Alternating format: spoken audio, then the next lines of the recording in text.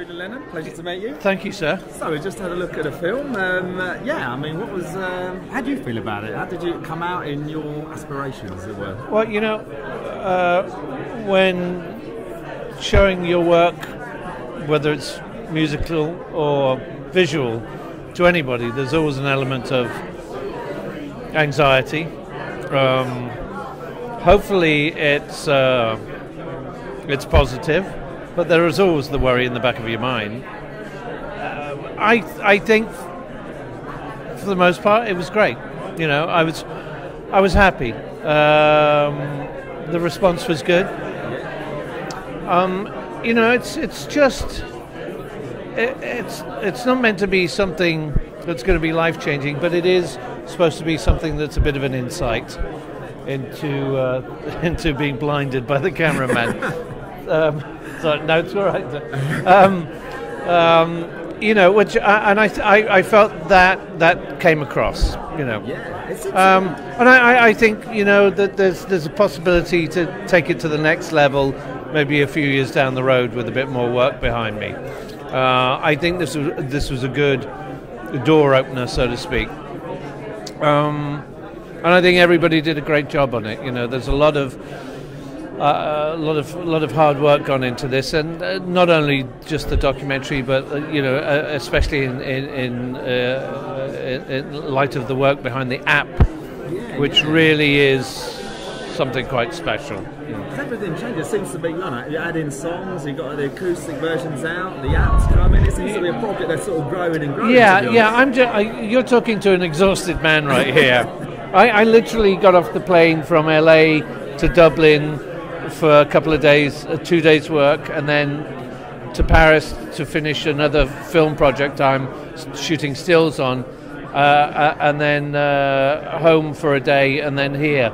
Uh, so I've slept in my bed two nights in two months um, and uh, a little jet lag, but uh, I, you know, I, I think the response is good. You know, wha- what more can I say? Yeah, yeah. And I mean, the photography's given you another complete outlet as well, then, has it? Yeah, I, uh, I, I- think what's been seen so far is early days, really. Um, there's a lot of work that I've been doing, a lot of collections behind the scenes that that'll come out some point next year, and also the work that I've been doing, uh, the artistic stills on this film called uh, "The Price of Desire," which is about Eileen Gray and Corbusier. Uh, You should go Wikipedia them if you don't know them, but it's a, it's a pretty special film, and I've uh, uh, I, I've been excited to work behind the scenes on that because we're talking about making the artistic stills. They're not your normal behind the scenes continuity stills, although I've done that as well.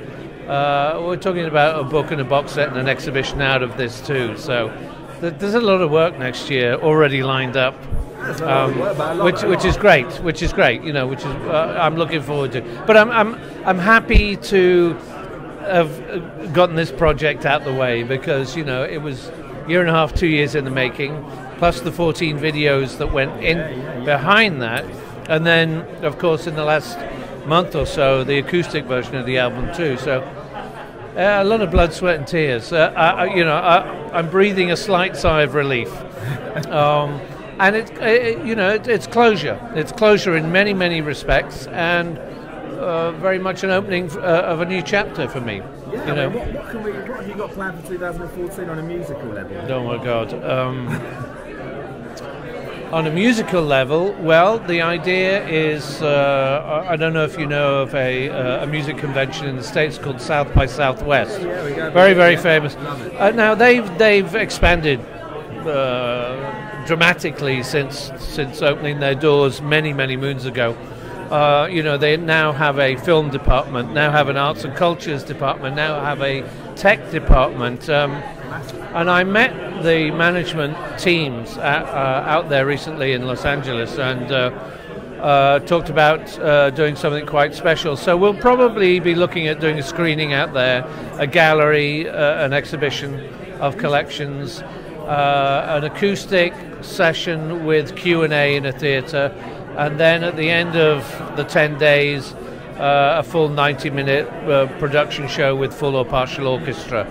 um, which would be charity orientated, uh, with donations to White Feather Foundation and local charities. And we, the hope is that I would piggyback that idea into um, one night only shows in major cities with a full or partial orchestra, uh, maybe 10 shows in the States, uh, and see how that goes. If people like that, then uh, take it to the next level. Fantastic. And the White Feather project, what, what would you, what would your hopes be for that in, in the future? Let's say for for the White Feather. Well, White Feather, White Feathers. Could, I mean, we had our first event earlier this year, made a fair amount of money. Uh, this year was the year of water, declared by the UN. I did a campaign with Charity Water. Uh, who are a, a, an incredible organisation. I had the pleasure of meeting Scott Harrison, who's the, the founding member, and uh, the campaign that we worked on, the we were able to uh, drill and supply. Uh, uh we had two uh, two um, drill sites.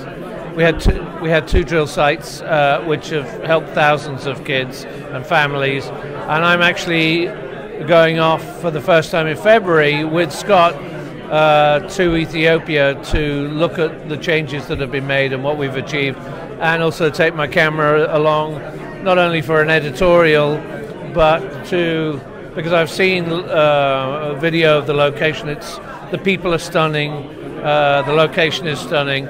I'd like to walk away from there with some artistic uh, photos for you know a box set and an exhibition solely dedicated to White Feather and enabling uh, further help to you know uh, organisations in the future, charitable orga- uh, organisations, and NGOs that we work with already. You know.